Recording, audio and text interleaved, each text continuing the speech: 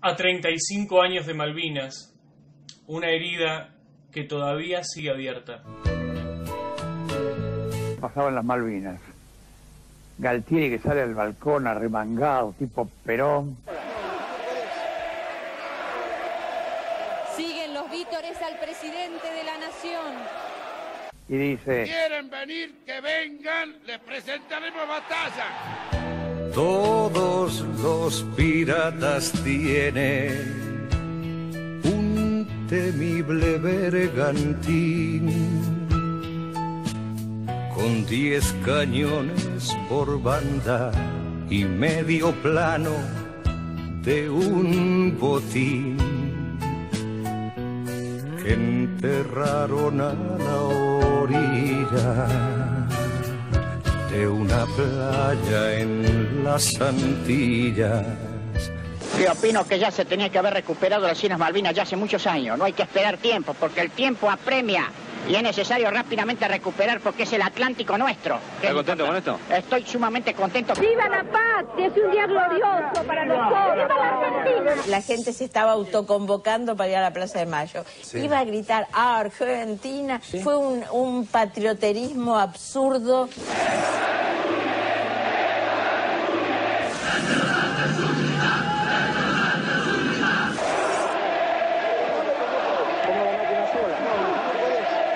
Siguen al presidente de la nación. ¡Galtieri, cagó! ¡Salió al barco! ¡Galtieri, cagó! ¡Salió al barco! ¡No se rinda! ¡No se rinda!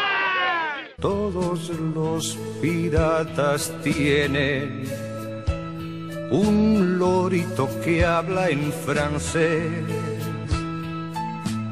al que relatan el glosario de una historia que no es. how much we owed to you for your help during the Falklands campaign.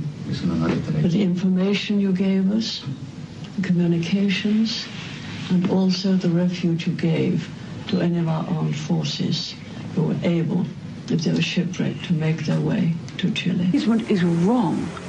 It only encourages dictators. Dictators have to be beaten. Dictators have to be beaten.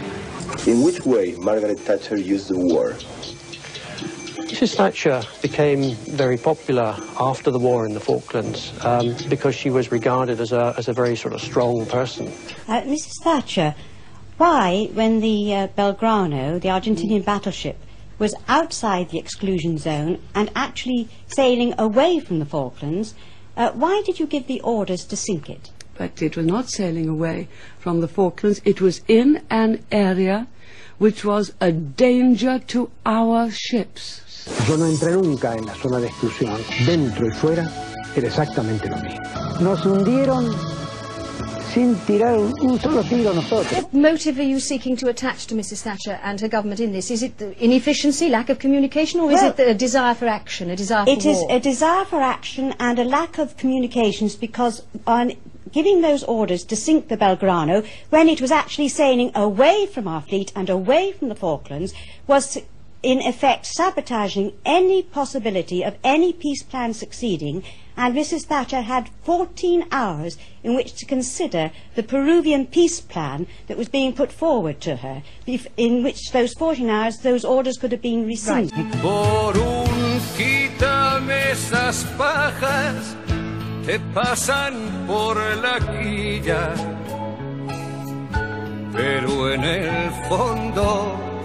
son unos sentimentales que se graban en la piel a la reina del burdel. y se la llevan puesta a recorrer los mares. los periodistas de aquel tiempo, los diarios, los noticieros, los canales de televisión, estamos ganando en Malvinas. Y ahora que estamos ganando, estamos en busca de la paz. Y ahora estamos perdiendo. Y seguiremos perdiendo porque mentimos. Yo no mentí jamás porque no tuve oportunidad de mentir. Le hemos propuesto a usted el primer parte de guerra. Habrá más, seguramente, todos los necesarios hasta que la guerra termine como va a terminar, triunfante. ¿Usted cree que nosotros, a esos chicos que están debajo de esas cruces... No son los chicos, hemos- son hemos- soldados, A esos eran soldados, hombres. a esos hombres... Usted, los usted hemos los, usted los denigra diciendo que son chicos. Bueno, además de soldados son chicos. No, no son chicos. ¿Están esperando a los ingleses? Sí, ya estamos aburriéndonos de esperarlo acá, estamos esperando. Y no viene más estos tipos. Supongo que se siente miedo o no se siente. Bueno, en un momento sí, un poco de nervio, yo, pero...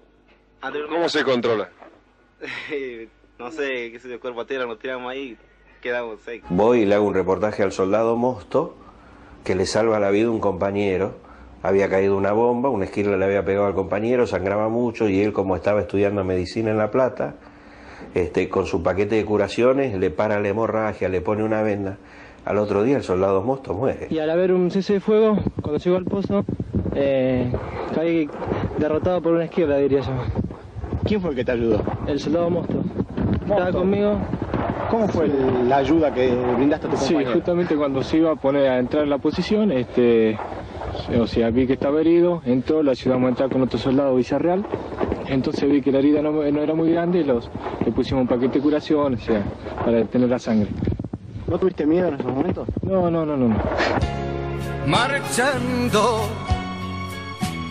una de piratas larga vida y gloria eterna para hincarles de rodillas hay que cortarles las piernas El combate de Puerto Argentino ha finalizado. ¿Y usted cree que las personas que dispusieron la guerra lo hicieron convencidos o lo hicieron después, por ejemplo, de un ataque de alcohol? Los enteramos también, ¿no es cierto?, de ese hecho después que el, el comandante jefe que lo mandó allá era un hombre ebrio, Cuando usted habla de un comandante ebrio, ¿a quién se refiere? al señor Galtieri. No tengo ninguna duda de la responsabilidad que asumir. No solamente para con, los, con la juventud, la muchachada de hoy, sino con las venideras. Asumo la responsabilidad plenamente y sé eh, mm, eh, trasladado en el tiempo lo que eh, significan mis actitudes de hoy. se beben la vida de un trago y se ríen con descaro, marchando de Nadie doblegó su espada y bastó una mujer hermosa para cortarles las alas.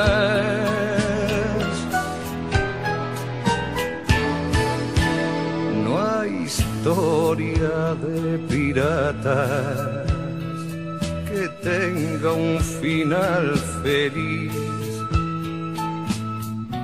Ni ellos ni la censura lo podían permitir. Por la espalda en una esquina, gente a sueldo los asesina.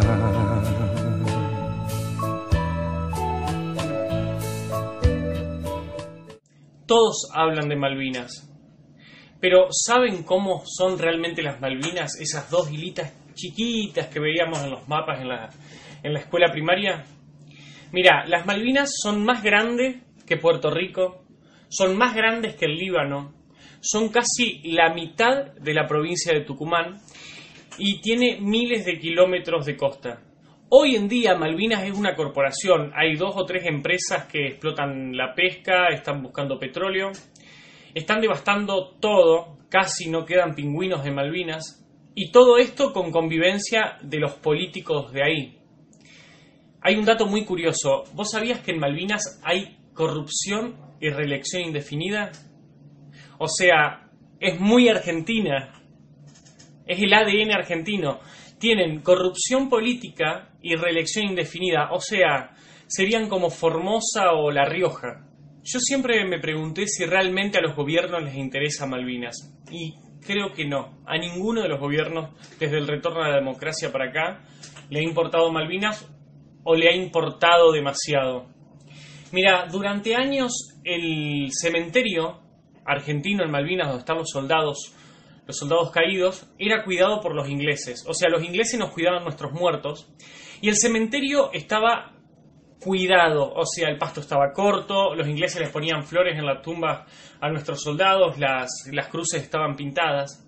En el año 2008, al kirchnerismo le saltó un nacionalismo extremo y mediante un decreto el cementerio pasó a manos argentinas. ¿Sabes cómo estuvo el cementerio durante estos últimos años?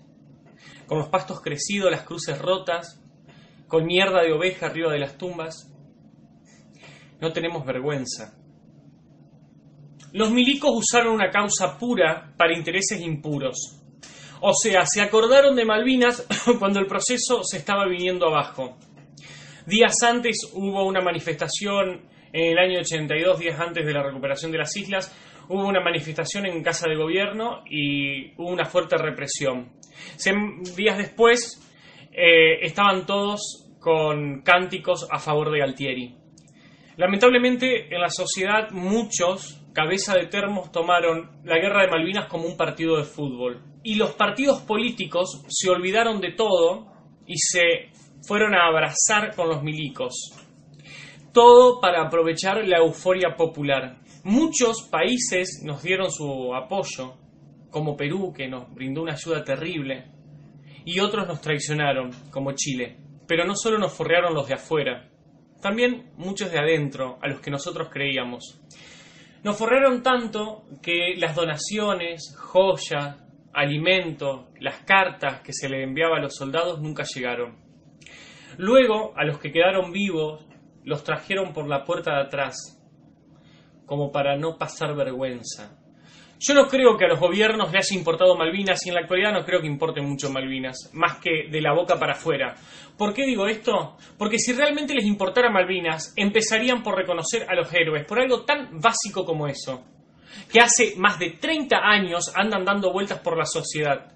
Tipos que dieron su vida por la patria.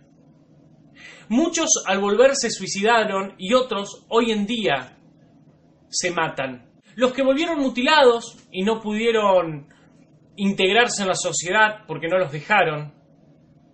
Y otros que todavía siguen esperando que el Estado les brinde ayuda. No unos míseros pesos, ayuda que los contenga, un Estado que contenga a los héroes. Por eso, aunque la victoria no haya coronado los esfuerzos argentinos, la sociedad principalmente no tiene que olvidarse de esos héroes oficiales, suboficiales y soldados rasos de aire, mar y tierra, que lucharon y padecieron en la fría y hostil naturaleza malvinense. Porque Malvinas, Malvinas es una causa común de todos los argentinos, y nos lo recuerdan los que quedaron por siempre en esa porción de suelo patrio, los veteranos mutilados, los que volvieron sanos y salvos, y que hoy buscan un lugar de trabajo y respeto respeto en nuestra sociedad. Malvinas es una causa que concluirá el día en que las islas sean restituidas a la República Argentina.